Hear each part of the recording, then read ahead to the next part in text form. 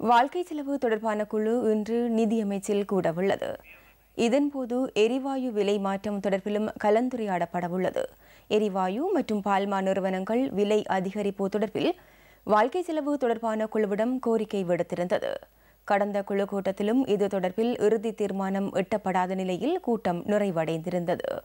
இதன் அடிப்படையில் இன்று இடம்பெறவுள்ள கூட்டத்தில் இது தொடர்பில் இறுதி தீர்மானம் எட்டப்படும் என எதிர்பார்ப்பதாக நுகர்வோர் அதிகார சபையின் அதிகாரியொருவர் தெரிவித்தார்.